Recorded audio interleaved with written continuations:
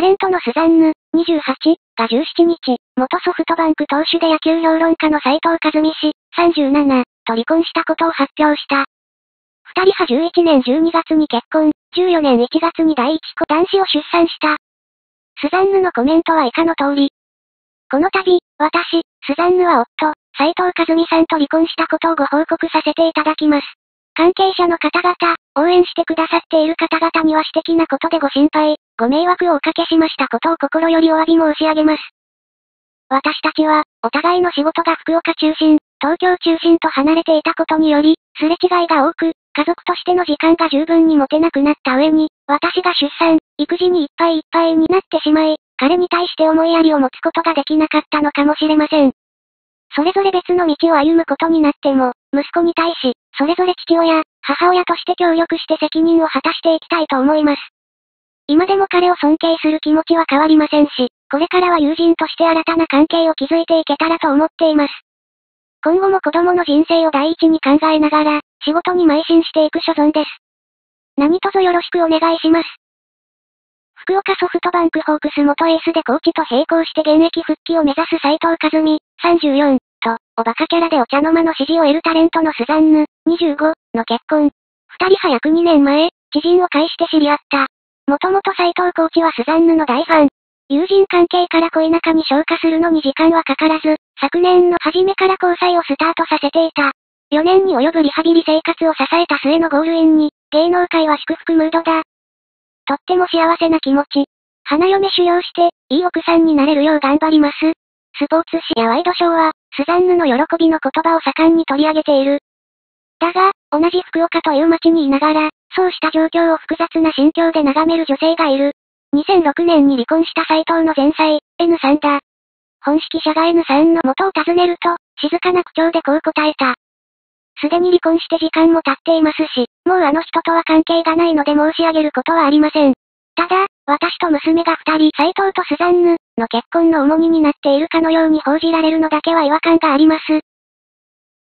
N さんはそれだけ語ると、黙り込んでしまった。友人の一人が事情を明かす。N さんは、結婚の事実というよりもそれを報じたワイドショーに、強いショックを受けているんですよ。友人によると番組では、斎藤が06年に離婚した前妻に多額の慰謝料と、娘の、養育費を支払わなければならない。それにもかかわらずスザンヌは愛を貫き献身的に支え続けたことなどが、美談帳に語られていたという。再び友人が語る。多額の慰謝料や養育費と言われてますが、N さんは離婚後、斎藤さんから1円も支払いを受けていないと言っていました。それどころか母娘は母子手当をもらって生活している。こうした報道がなされることで、あの母娘は、本当はお金を蓄えていると思われて、役所から、給付を止められたらどうしよう、と N さんは嘆いていました。現在、N さんは福岡市内にひっそりと佇む6畳一間のアパートで長女と共に生活している。結婚する前から知ってた、しょぼん。前妻は高笑いだろうな。多分、またあれでしょ。取ったものは取られる。なんで結婚したのに東京と福岡。里田舞との格差が天と地ほども開いたな。博多の種馬捨てられる。マー君と一郎は種なしかな。一弓も天に召されたと聞いたけど。思ったより早かったな。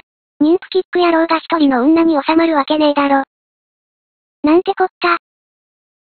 完全に、予想通りの展開。これはニュースじゃないだろ。元からわかってたことだ。旦那の収入ないからか。見事に予想通りの結末。もう芸能界にスザンヌの椅子はないだろうに。早々に離婚すると思ってたから、むしろここまでよく持ったなと感じる。旦那が稼がないからスザンヌが東京で仕事してたってこと？結局は金だったんだろ？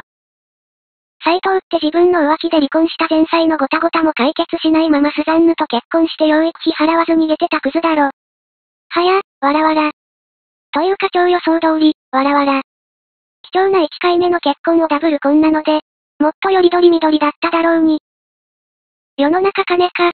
旦那収入ないもんな。斎藤は相当金持ってると思うよ。金持ってても嫁子には渡さないタイプだろ。結局、何がしたかったんだろう。最後までご視聴いただきありがとうございます。随時更新していきますので、よかったらチャンネル登録お願いします。また、次の動画でお会いしましょう。